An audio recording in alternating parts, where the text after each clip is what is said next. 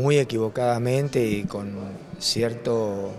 acto, incluso faltando a la verdad,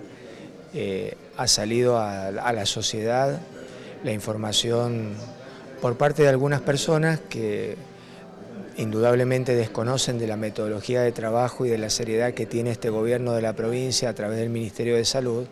de que estamos entregando desde el programa de medicamentos e insumos médicos medicación vencida. Absolutamente este ministerio entrega o ha entregado un producto cuya fecha indudablemente haya vencido. En ningún tipo de aspecto, ni en medicamentos, ni en descartables, que son o forman parte dentro de los insumos que también se transfieren a los centros de atención primaria, a los hospitales de día y a los hospitales de referencia. Por allí es muy probable que la información también haya estado vinculada a medicamentos que están por vencer. Miren, lo más próximo que tenemos en torno al tema de, vencimientos fundamentalmente data de una partida de amoxicilina que está a vencer nada más y nada menos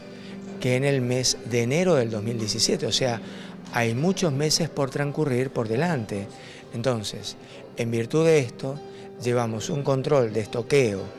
de lotes y de fechas de vencimientos exhaustivos Primero, para garantizar que a la población le llegue el medicamento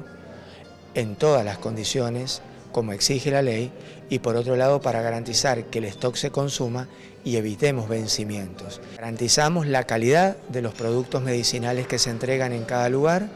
y en segundo aspecto que tenemos el control suficiente para garantizar